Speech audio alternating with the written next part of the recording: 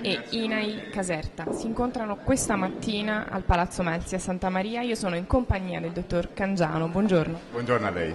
Veterano delle telecamere di Safe News. Assolutamente sì, ed è un piacere. Ancora una volta per parlare di sicurezza sul lavoro, in particolar modo oggi legalità e tutela della salute e della sicurezza nelle trasformazioni del lavoro. Cosa intendiamo? Assolutamente sì.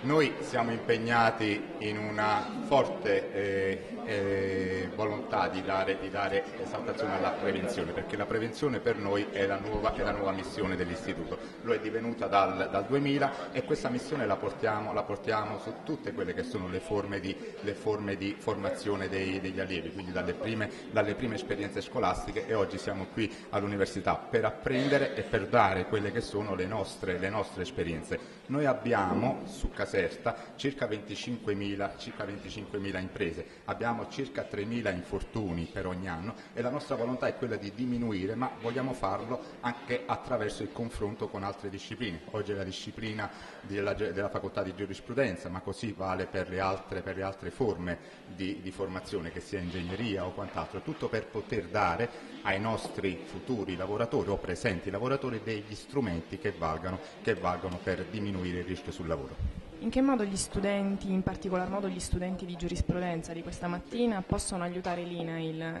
in quello che è il suo obiettivo? Noi vogliamo che loro aiutino noi in futuro. Qui avremo probabilmente futuri magistrati, futuri, futuri avvocati, avvocati magari d'azienda. Tutti dovrebbero avere però nel loro bagaglio culturale il, eh, la, un'attenzione particolare al rispetto per, per quello che sarà il, il, lavoratore. Il lavoratore è un soggetto che è comunque esposto, esposto al rischio quali che siano le misure che vengono adottate. Sicuramente conoscere però gli strumenti per fare, per fare prevenzione e per diminuire la sicurezza può essere utile per ri ridurre questo rischio.